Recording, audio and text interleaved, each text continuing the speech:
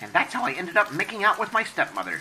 Not a great idea in retrospect. You don't have many friends, do you, Otacon? Well, my stepmother seems to like me. Snake, you can both discuss this later. In group therapy.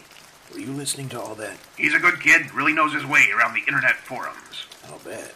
Snake, right now you're in base camp Delta Foxtrot, the suspected base of operations of Revolver Ocelot. I know where I am.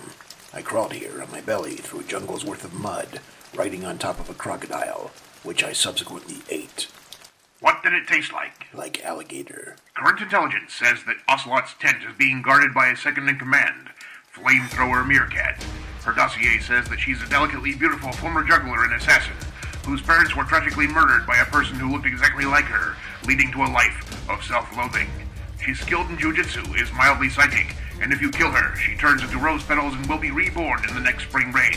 Her dossier says she's delicately beautiful. I may have tossed in some unnecessary commentary. What are my entry points? You've got three avenues of attack, Snake. A direct assault will take you there fastest, but may leave you vulnerable. And the second? Uh huh. No, that won't work. I don't like cats. He's been like that for about ten minutes, just talking to himself. Should we shoot him or just draw stuff on him? I got a Sharpie in my locker. Hey, ask Otacon if his stepmother has a sister. We're not talking about Dragon Quest. Final Fantasy X, brother. I know you haven't forgotten.